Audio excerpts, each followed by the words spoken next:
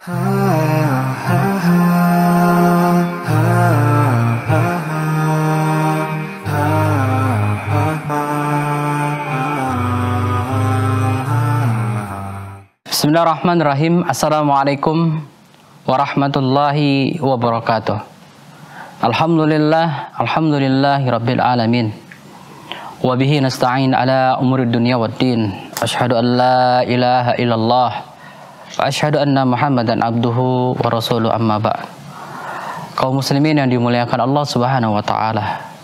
Kembali puja dan puji syukur kita senantiasa kita lantunkan lewat lisan yang kiranya kita berharap lisan yang kita miliki ini nantinya tidak menjadi sesuatu yang memberatkan kita membuat kita semakin sulit ketika di persidangan di hadapan Allah ya kita berharap lisan yang kita miliki saat ini di dunia bisa menjadi yang akan malah membela kita nantinya.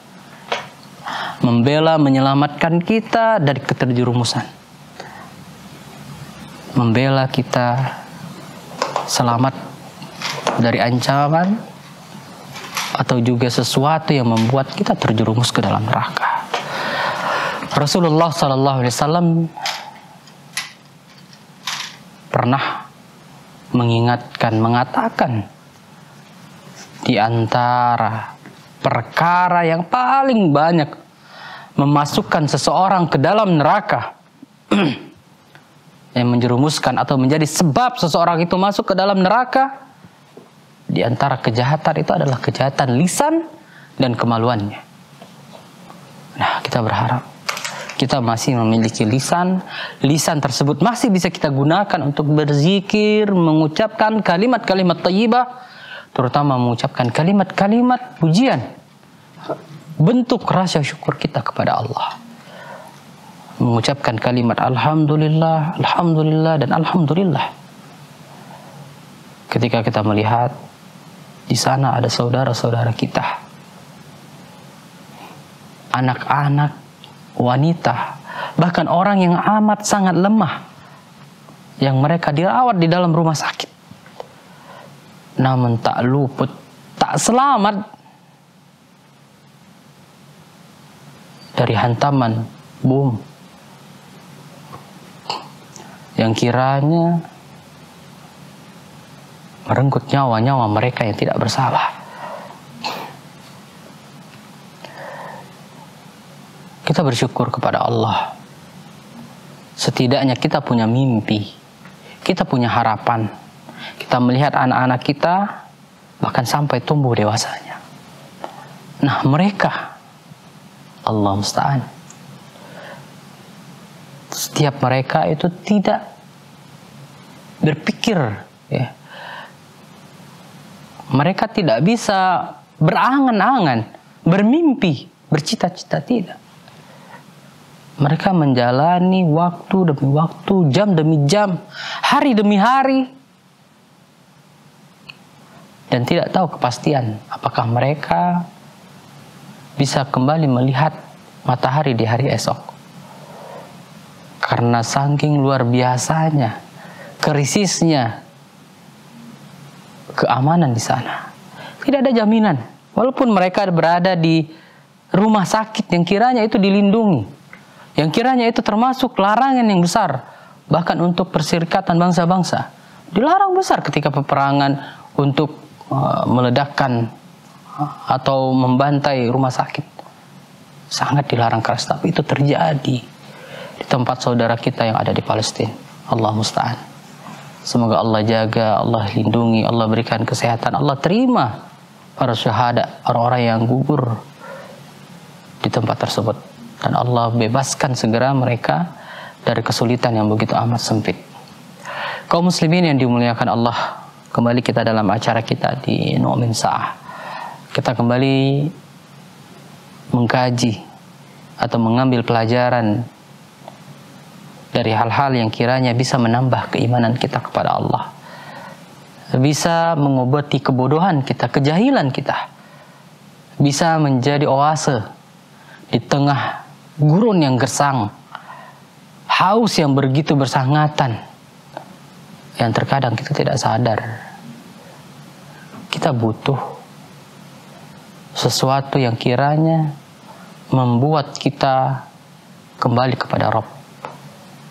Yang kiranya menambah keimanan kita. Yang kiranya membuat kita kembali sadar. Ternyata kita sudah jauh meninggalkan jalan yang diridhoi oleh Allah.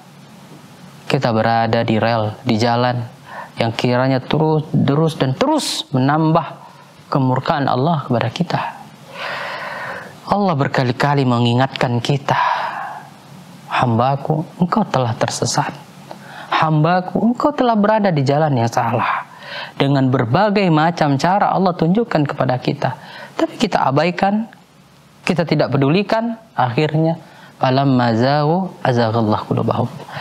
Ketika dia berpaling, maka Allah pun berpaling darinya. Allah musta'an. Maka jangan sampai, wahai saudaraku, kita berada di tempat yang Allah sudah tidak lagi peduli kepada kita. Kalaulah kita masih diingatkan waktu demi waktu, dengan permasalahan, dengan musibah, dengan ujian, dengan sesuatu yang menghentakkan dada kita.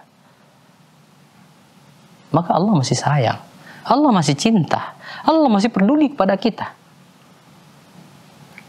Ada kalanya pertolongan Allah itu datang di titik terendahnya kita. Di waktu, di saat kita sudah tidak lagi mampu berbuat apa-apa kita hanya punya sesuatu untuk bergantung meminta kepada Allah. Hanya itu kekuatan kita. Di situlah Allah datang. Karena Allah ingin kita kembali di titik itu. Allah ingin kita kembali meneteskan air mata. Berharap sepenuhnya kepadanya. Dan tidak bergantung kepada selainnya. Kita baru kembali ke titik itu ketika kapan? Ketika Allah turunkan ujian ketika Allah berikan suatu masalah yang membuat kita merasa dunia ini begitu sempit. Dunia ini begitu sulit. Ketika itulah Allah datang menyapamu. Inna ma'al usri inna ma'al usri Dalam kesulitan ada kemudahan, dalam kesulitan ada kemudahan. Allah katakan itu. Baik, kita akan lanjutkan insya Allah setelah beberapa jeda berikut ini.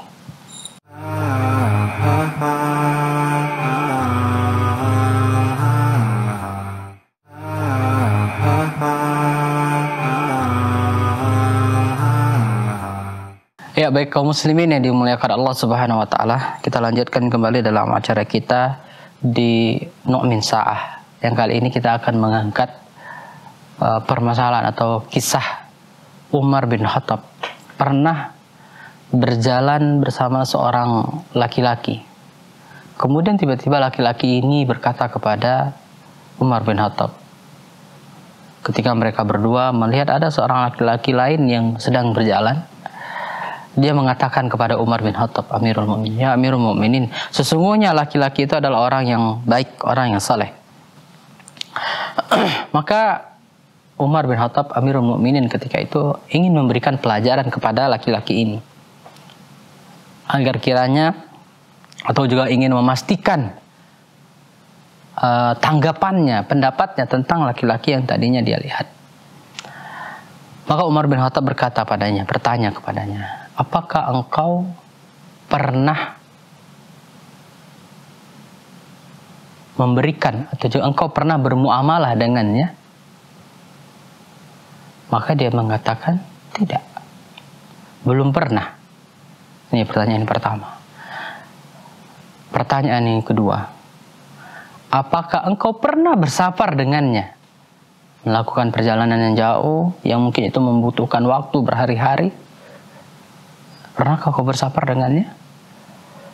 Maka laki-laki itu kembali mengatakan, tidak. Kemudian Umar kembali bertanya dengan pertanyaan yang ketiga. Apakah engkau pernah memberikan amanah kepadanya, menitipkan sesuatu yang itu membutuhkan kepercayaan? Maka kembali laki-laki ini mengatakan belum pernah. Lalu Umar mengatakan apa? Umar katakan kalau begitu berarti engkau belum pernah belum benar-benar mengenalnya. Belum benar-benar mengetahui dirinya. Barangkali engkau menilainya hanya karena kau sering melihat dia ke masjid, sholat berjamaah. Atau kau melihat dia memberikan sesuatu kepada orang lain dan lain sebagainya. Tapi engkau belum benar-benar mengenal siapa orang itu. Nah, kaum muslimin yang dimuliakan Allah, dari kisah ini, ternyata Umar memberikan pelajaran yang besar untuk kita. Bagaimana cara kita mengenal seseorang itu sebenarnya? Bagaimana sebetulnya karakter sejati dirinya? Bisa kita ketahui dengan tiga perkara, tiga hal. Yang pertama dikatakan, apakah engkau pernah bersafar dengannya? Safar ini dikatakan juga oleh Rasulullah SAW, dia adalah bagian potongan-potongan dari adab. Artinya apa? Kesulitan, keberatan, kesempitan, dan perkara-perkara lain yang banyak terjadi di jalan yang dia membutuhkan apa namanya? Dia akan keluar watak pribadi asli dirinya. Maka ketika kita bersafar dia bersama seseorang, coba lihat bagaimana perangainya. Apakah dia dengan keegoisannya ya udah dia sembunyikan dia bawa misalnya bekal bekal itu dia tahu kalau kalau temannya ini kekurangan bekal dan dia pada asalnya memiliki bahkan lebih ya. tapi dia sulit berat untuk memberikannya kenapa itu watak pribadinya ketika dia tahu kalau temannya ini membutuhkan pertolongan ketika bersafar ini ya artinya dia butuh untuk diberikan pinjaman uang misalnya kan dia kekurangan e, bekal tadi, kekurangan uang tadi, dia butuh tapi nggak ditolong. Kenapa? Di situlah watak sebenarnya akan terlihat. Dia akan mengatakan nafsi-nafsi. Ya aku harus selamatkan diriku dulu. maka di situ Umar bin Khattab mengatakan safar itu itu bisa engkau lihat bagaimana perangai asli dari temanmu itu atau seseorang itu. Kau akan tahu, kau lihat oh seperti ini dia maka tak jarang ya kita dapati uh, awalnya ya ketika kumpul-kumpul kita tahu ini kayaknya kawan ini orang yang baik ya. Tapi ketika kita melakukan perjalanan dengannya kita tahu bagaimana sifat asli dia. Nah, seperti itu. Jadi yang pertama itu safar, kemudian yang kedua adalah muamalah. Muamalah di sini adalah dalam perkara contohnya dalam hal jual beli gitu ya. Dalam hal jual beli gimana dia dalam hal jual beli itu atau perjanjian atau lain sebagainya muamalah ini artinya bergaul dengannya berinteraksi sering dengannya maka akan tahu bagaimana kepribadian sesungguhan sesungguhnya dari temanmu itu atau orang yang ingin kau tahu bagaimana si pribadi dia. Dari dengan uh, muamalah. Nah dan yang ketiga dia adalah amanah. Nah, amanah ini juga merupakan sesuatu yang sering sekali manusia bisa kita ketahui bagaimana kepribadiannya dari amanah. Ketika dititipi suatu barang, gitu ya. Apakah dia betul-betul menjaga barang tersebut atau tidak? Atau yang lebih sering ya kita dapati perkara hutang. Nah, tak salah kalau ada orang yang mengatakan ada perkataan tak jarang hutang itu malah menjadi pemutus silaturahmi. Kenapa? Karena biasanya orang yang dia berhutang ada yang memang dia menggunakan ya memanfaatkan ya hubungannya. Hari ini kan temanku. Udah aku berhutang dengannya, kemudian dia menghilang begitu saja wala kalam. Tidak ada perkataan, tidak ada hal-hal yang kiranya uh, menunjukkan kalau ini adalah ada niat untuk membayar. Maka tak jarang gara-gara hutang malah memutuskan silaturahmi. Ada istilah daripada aku memutuskan silaturahmi udah dia pinjam berapa, udah ini kuberikan pemberian yang kiranya dia ikhlas kalau nggak dibayar lagi udah nggak apa-apa, nggak ada masalah. Karena seperti itu. Kenapa? Karena seseorang itu juga bisa dilihat di antaranya itu amanah Bagaimana dia ketika diberikan amanah, dia berbuat dengan keamanahannya. Nah, maka benarlah apa yang dikatakan Umar bin Khattab dan Umar bin Khattab kita tahu banyak sekali ya hal yang itu jadi pernyataan Umar bin Khattab yang akhirnya menjadi hukum. Rasulullah juga mengatakan hal tersebut sampai Rasulullah mengatakan seandainya Allah turunkan azab ya tentang suatu perkara maka yang selamat itu adalah Umar. Kenapa? Karena kita melakukan uh, keputusan yang kira itu mendatangkan murkanya Allah dan Umar benar. Itu pernah kejadian itu. Baik kaum muslimin yang dimuliakan Allah, kita akan lanjutkan setelah setelah beberapa jeda berikut ini.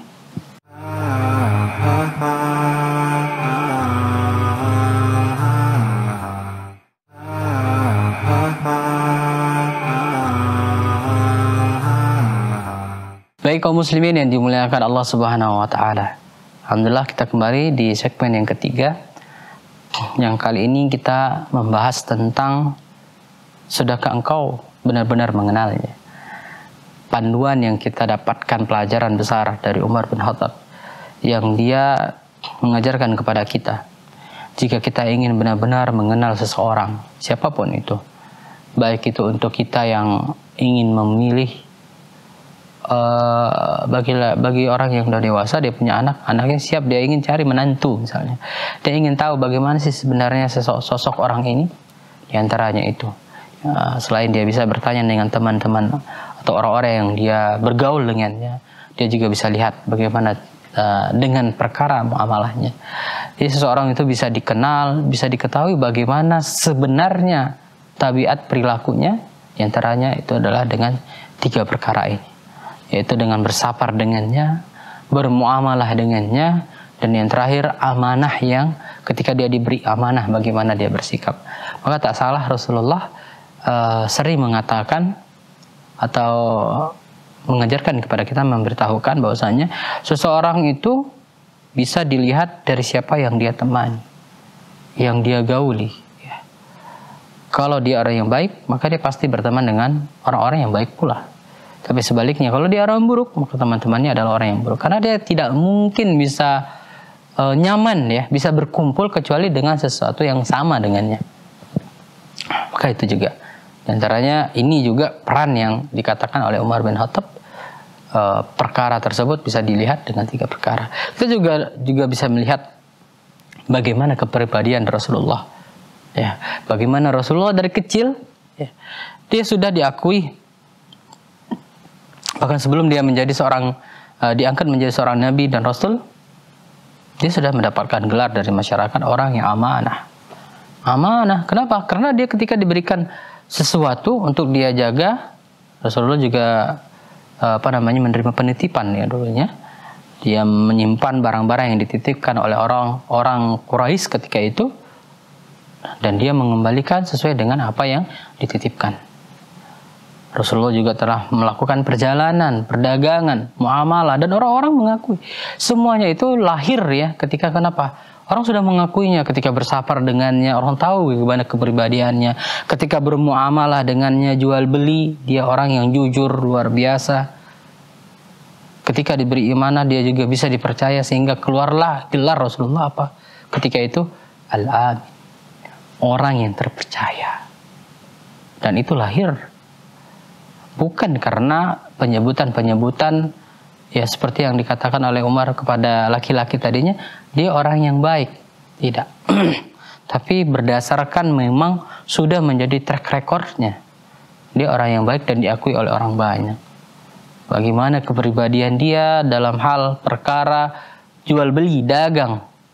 Kita mengingat kisah dari Ibnu Sirin ya. Ibnu Sirin atau juga kisah dari Hasan Basri yang Hasan Basri juga seorang pedagang bagaimana dia dipenjara bahkan gara-gara kejujurannya. Ya. Jadi suatu hari dia berdagang madu. Madu datang dalam e, banyaknya satu gentong besar ya. Di malam hari tanpa dia sadari ada tikus yang mati di dalam gentong tersebut. Pagi harinya dia lihat, kemudian pekerjanya juga lihat, ya Hasan Basri ini. Kemudian Hasan Basri menyuruh memerintahkan agar membawa gentong besar ini yang isinya adalah madu yang nilainya luar biasa besarnya. Apa namanya modalnya itu. Karena uh, Hasan Basri ketika itu dia mengambil dulu nanti di, dibayarkan ya. Maka pekerjanya bilang apa? Dia katakan wahai imam bukankah kita cukup mencedok saja atau membuang saja di sekitaran yang kejatuhan uh, tikus yang mati itu. Sedangkan apa namanya yang lebih banyak lagi lebih apa namanya yang lebih besar itu lebih banyak gitu ya. Artinya tempat yang enggak terkena tikus mati itu lebih banyak. Tuh maksud dia. Jadi kalau misalnya kita buang kita buang lah. Misalnya satu ember kecil itu aja udah. Udah. Yang lainnya masih bisa kita jual. Itu maksud dari pekerjaannya tapi Imam Hasan Basri mengatakan apa? Tidak aku tidak mau berada di tempat yang aku ragu dengannya Aku tidak tahu di mana saja tempat uh, tikus ini telah meletakkan kakinya yang terkena dengan uh, apa namanya jatnya tikus itu di di madu sehingga aku jual nanti aku ragu, aku takut, khawatir. Sehingga apa? Dia ambil resiko, dia buang dan dia buang itu enggak dibuang ke tanah atau ke tempat apa, dia buang ke sungai supaya apa? menyatu dengan air dan tidak bisa diambil oleh orang. Karena dia tidak mau orang juga akan berbuat kesalahan dengan hal tersebut. Lalu apa resiko yang dia dapatkan? Akhirnya orang yang apa namanya jatuh tempo waktunya untuk dia harus membayar dengan uang yang luar biasa besarnya modal dari madu itu datang kepada Hasan Basri dan dia mengatakan aku sudah tidak mampu tidak mampu untuk membayarnya. Kok orang ini mengatakan kalau gitu aku akan laporkan kau biar engkau di penjara. Akhirnya dia penjara di penjara gara-gara ini tadi. Ya. Lalu penjaga penjara ini, inilah amanahnya luar biasanya seorang yang berilmu. Penjaga penjara ini kenal dengan Hasan Basri. Dia mengatakan, wahai imam, eh, kalau engkau mau, kita buat uh, kesepakatan. Engkau ada di sini, berada di sini setiap pagi sampai menjelang malam kemudian malam hari kau pulang ke rumah e, keluargamu, nanti kau balik lagi. Setiap hari seperti itu. Maksudnya dia ingin membantu Imam Hasan Basri. Lalu Imam Hasan Basri mengatakan apa? Tidak, wahai saudaraku. Jangan buat aku membantumu untuk masuk ke dalam neraka. Allahu Akbar. Pelajaran yang luar biasa kaum muslimin yang dimuliakan Allah. Semoga ini bermanfaat untuk kita menjadi perhatian kita bersama bagaimana kita mengenal orang-orang yang ada di sekitar kita dan bagaimana kita menjadi orang-orang yang amanah ketika diberikan amanah. Mudah-mudahan bermanfaat. Kita tutup dengan doa kafaratul majlis. Subhanakallahumma wa bihamdik, la ilaha illa anta astaghfiruka wa atubu ilaik. Wassalamualaikum warahmatullahi wabarakatuh.